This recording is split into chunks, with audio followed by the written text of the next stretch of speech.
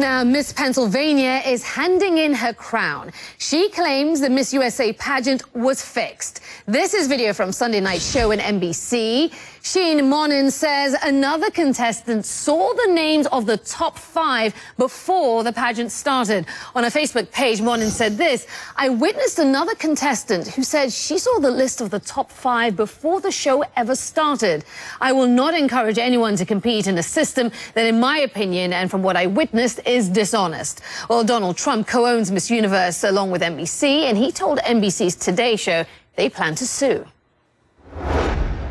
It is so ridiculous. And what we've authorized today is we're going to bring a lawsuit against this girl.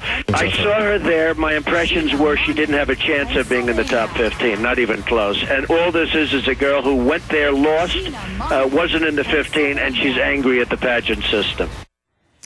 Well, joining us, syndicated radio show host Ralphie Aversa, who was a judge in the Miss Pennsylvania USA pageant, where Sheena Monnin uh, competed. Thanks so much for joining us.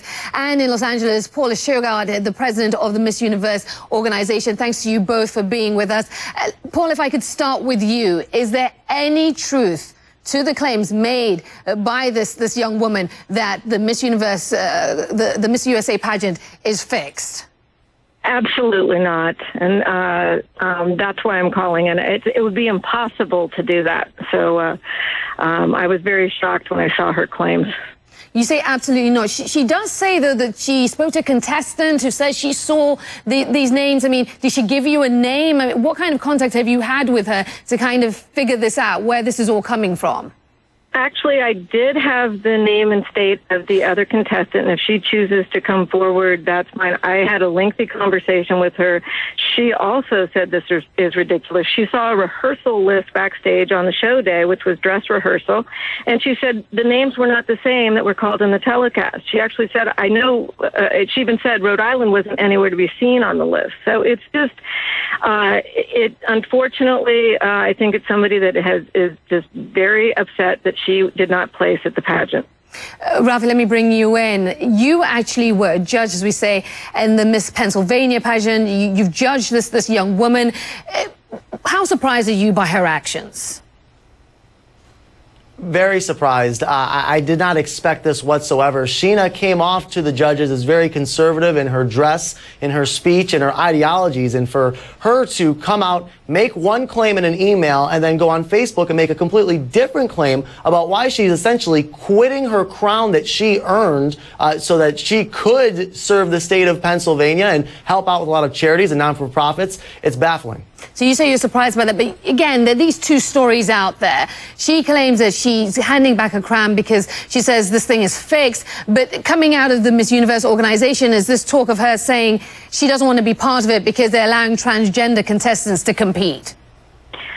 Yes, that was actually the first uh, email we received. First thing uh, Monday morning, she sent uh, an email to her state director that she could not uh, be part of a system that would allow uh, transgender contestants and uh, and that uh, it went against her moral uh, fiber. And uh, you know, I know everyone is entitled to their opinion. The, the, surprise I had with that is that that was a decision that was implemented two months ago. Mm-hmm. So I, I it called into question why didn't she step down at that point?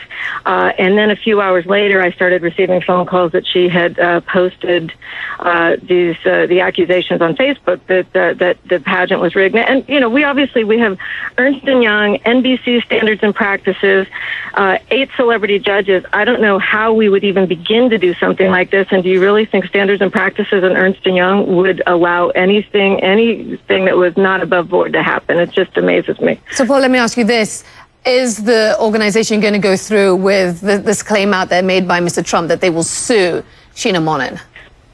Well, she certainly made some very uh, uh, strong and damaging accusations against us, and and uh, we're exploring all of our options right now. I, I honestly, uh, we have not spoken with her, and uh, don't know what her intentions are. But uh, when she attacks the integrity of, of a pageant system that's been around for uh, 61 years, uh, we have we can't sit idly by and and let her make those kind of accusations that are just so ungrounded and so false.